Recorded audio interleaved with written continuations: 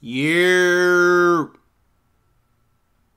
David, I told you big things would come when you started balling, and that was a great game. We're ready to unveil you to the world as our newest Nike athlete, and what better way to do it with a Be Unstoppable campaign? I love this look on you, man. What do you think?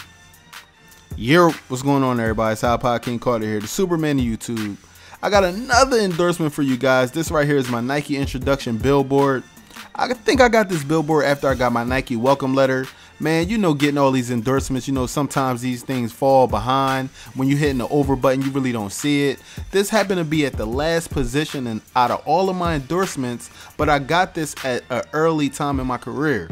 So, with that being said, we're about to jump into things. I like being with Nike, man. I'm able to edit a few shoes, and even my boy Waza now was able to edit a custom pair of Foamposites on his channel. So, damn, you already know being with Nike is where it's at, y'all. I'm sorry for all you Jordan people out there, man. For real.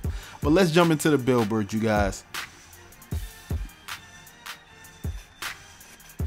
Damn, these things take forever to. Oh, ho, ho, here we go. The league's newest franchise. Check out that Nike check, man. Just do it.